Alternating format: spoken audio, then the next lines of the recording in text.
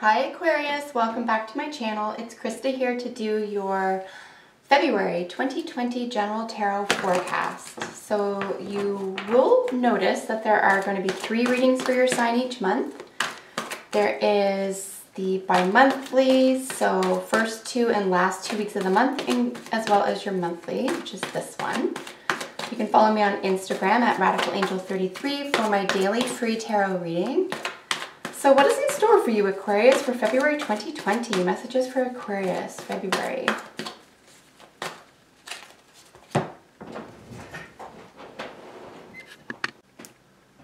Hi Aquarius, welcome back to my channel. It's Krista here to do your February 2020 General Tarot Forecast. There is a bi-monthly reading for you as well, both for the beginning and end of the month.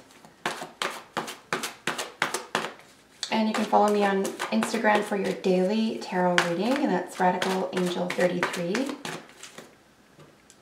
All right, so what have we got in store for you, Aquarius, for February 2020?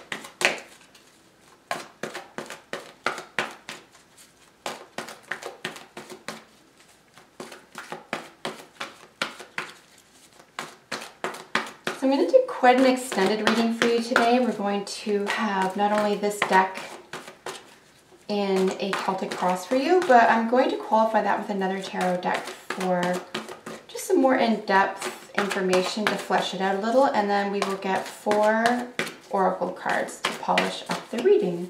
Messages for Aquarius for February.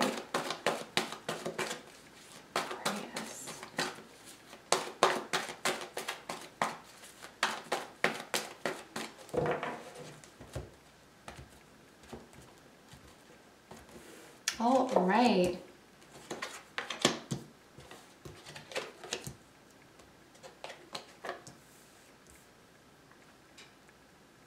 Oops, over a tiny bit for you guys.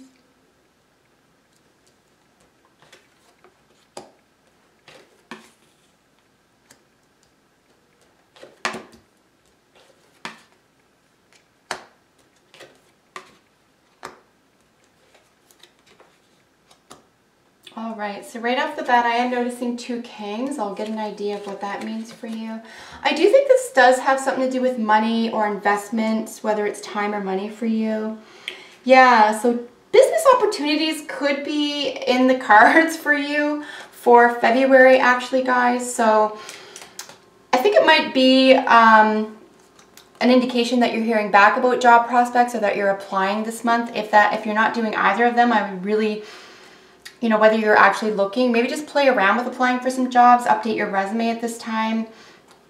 Just because whenever we see the two kings, it, it's rather rare, right? And then we do have um, a few pentacles about planning and family and long-term planning.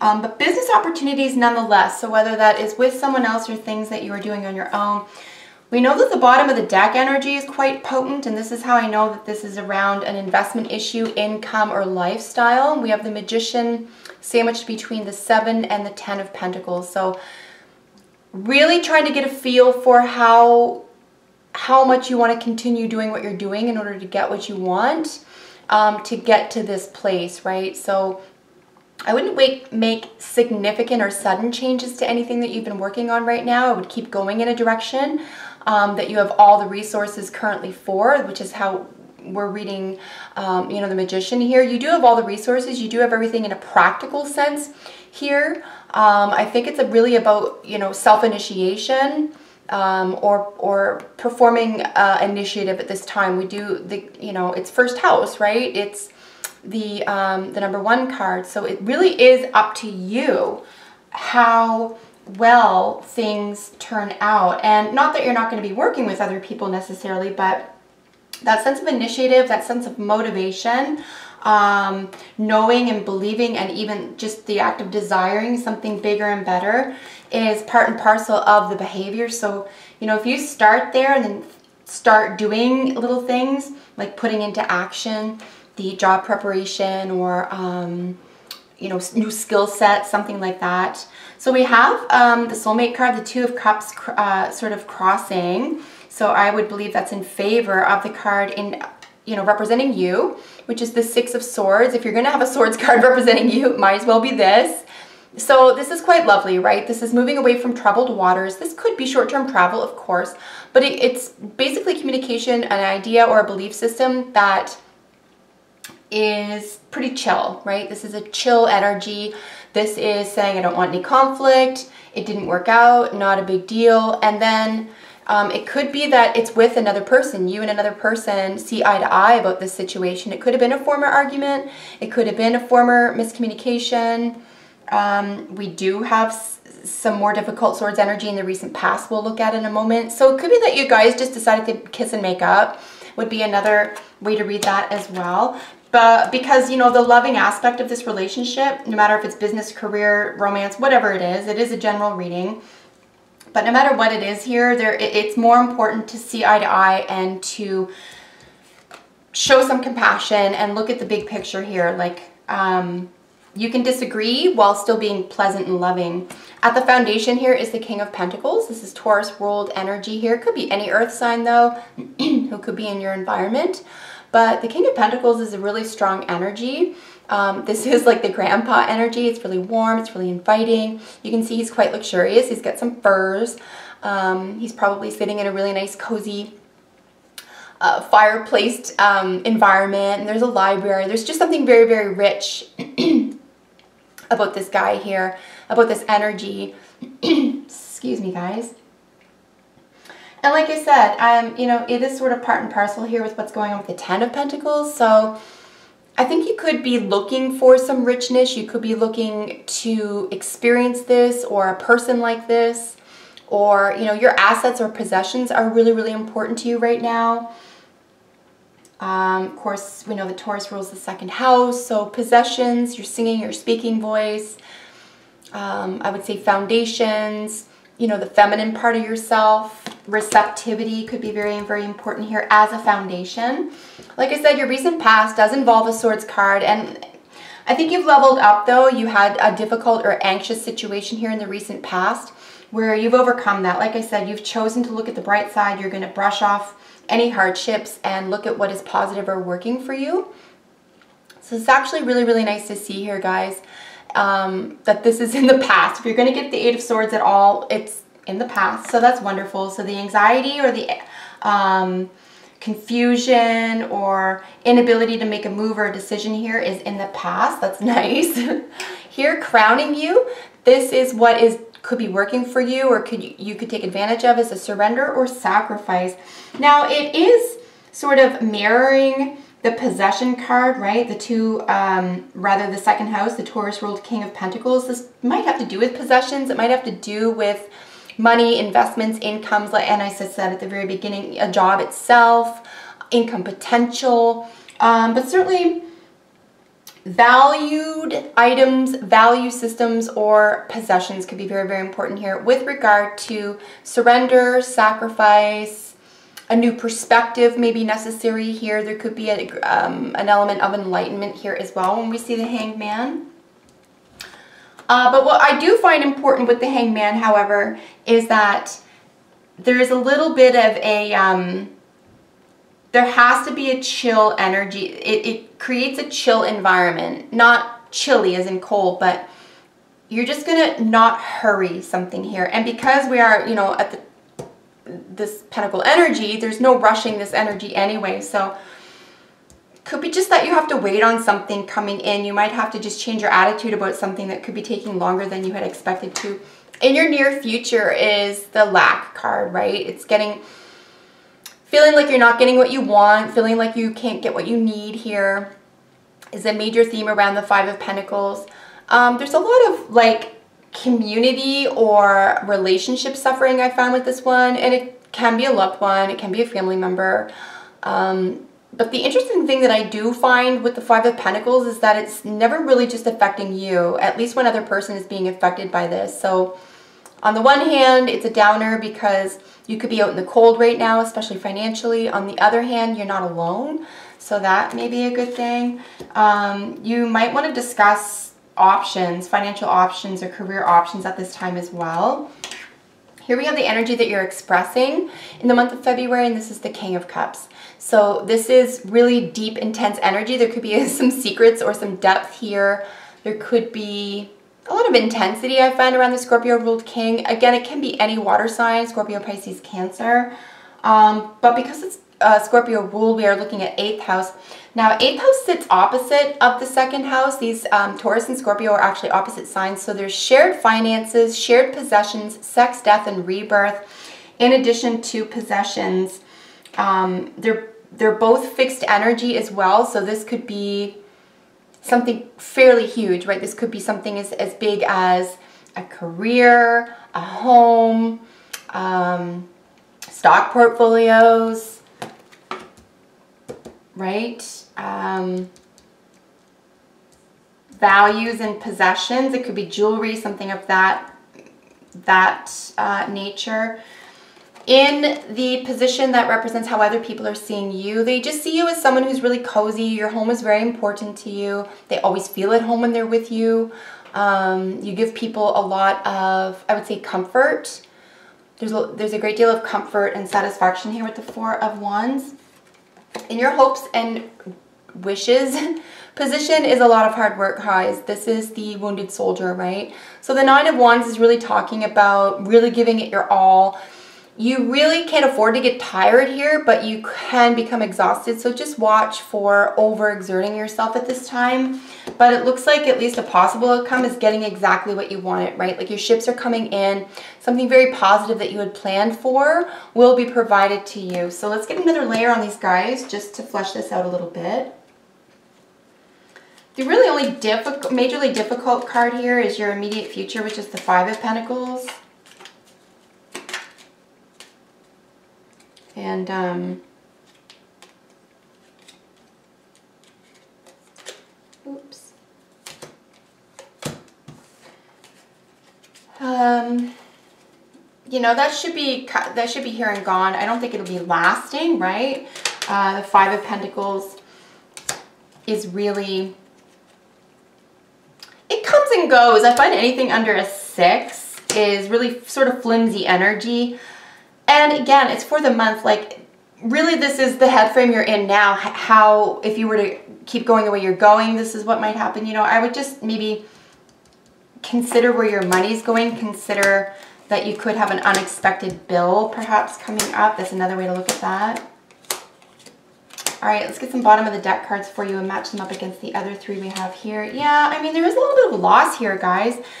There is definitely heartache. There is boredom, and then there is a loss. A loss or a devaluation. Very, very interesting. And it really will be surrounding how hard you're working, your income potential. Maybe you felt like you were getting somewhere and kind of spinning your wheels, but yeah, February, at least the overall energy looks like it may not be very satisfactory for you. I think I would spend a lot of time dealing with issues of communication and reacting to a difficult situation at this time. Excuse me. Um, Page of Cups and the High Priestess. So this is confirming your Six of Swords and your Two of Cups. So yeah, loving communication. It's really important that you try to stay positive here with the way that you communicate at least, at least. But there is a little bit of mystery. Here we're looking at the mystery again. We're looking at secrets. We're looking at something being held under wraps. There is something that you're not privy to, something that you don't want to make someone else privy to. It could be a mad crush that you have on someone else or they have on you and they're really not keen in bringing it out in the open.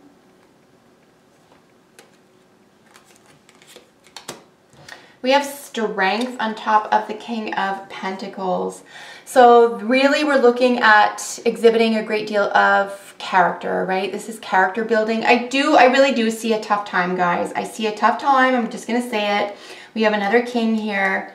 Um, something is going to, now we don't have the tower, so I don't think it's going to be sudden for you, but there is something that is, um, maybe you would just rather not deal with or something that's really going to test your strength of character or your patience at this time. So I do see that there could be a high status or honors granted as well. So it's almost like two steps forward, one step back. It could feel like that a little bit this month, but strength is really calling on you to have a lot of, build a lot of character at this time. And you could, and in order to do that, you just have to manage something difficult. And it's just the nature of the beast there, guys. King of Cups is over the Eight of Swords. So yeah, here's this really intense energy, keeping something under wraps, a lot of intensity, a lot of emotional depth. Um, there's a mystery here, there's an enigma here, and it is over this um, Eight of Swords, right? Where that the anxiety, the sleeplessness, the don't know if I can move this way or that way. And a sacrifice needing to be made, as we said with the Hanged Man, and then the Nine of Swords. So it's, yeah, something is really keeping you up. You have to make a major decision. It's something you wish you didn't have to deal with. It could be about values, valuables, value systems, possessions. Could be about a relationship. Maybe you thought someone was something or not. Um, but there's a great deal of sleeplessness and anxiety here. So it's just something to watch for, guys. If you're headed in a specific direction here, just beware that you may have to give something up in order to move forward. We do have a really nice uh, victory, a small victory around the Five of Pentacles. So something could work out in your favor. It could be a loan. It could be a discount. Um, it's really nice to see this qualified by something positive, to be honest with you. So the near future does have something positive for you. Um, try not to get too down about this either. Try to get creative about um, achieving the outcomes you want. Here in the energy, like I said, that you're exhibiting to the world around you, on top of the Scorpio ruled King of Cups is the Six of Cups. So someone from your past could come back around someone who is extra sensitive, someone who is very, very intuitive, someone who relies on the past, is from the past, someone who reminds you of the past. This could be a childhood friend. Here we have the moon over your um, home card in the position regarding how you're expressing yourself, sorry, how other people are receiving you. And this is moodiness, you know, around your home, around your possessions, around what makes you happy, being cozy, comfortable, approachable. You know, there's a little bit of moodiness there, something behind the scenes. Um, there's a great deal of intuition here as well. There could be a Pisces individual involved somehow here or 12th house. Something having to do with, you know, distinct endings and beginnings. This could be about a home, guys. This could be um, I do find also with the moon that there is a sense of like shadow work. There's a sense of nighttime. There is an element of wisdom as well, but dreams could be very important here as well. Um, a dream about your home, about the perfect home. Dreams could be very significant this month for you. We do have the Hierophant over the Nine of Wands, which is in your Hopes and Fears card. Excuse me. The Hierophant is, um, again, some more Taurus energy there. This is long-standing traditions, right? So your hopes and fears have to do with long-standing traditions. It could be lifestyle. It's hard not to imagine this doesn't have to do with possessions, though. Um, if this is on the career front, I would say that this is, you are, you're going to have to sort of follow the rules here. You're going to have to do things by the book. This is a pretty strict energy. And then qualifying your outcome, the Three of Wands, is the Hermit. So a lot of introspection is necessary at this time. You may have to go within. Um, you can light your own way. You have the answers. Um, I do find that the Hermit is not only solitary, but I find it's a little bit of a loner card. So you could have to go something alone. This could just be something as simple as a breakup, guys. And if that's the case, I'm really sorry. Um, but you could need to do a lot of internal work, uh, a lot of internal healing,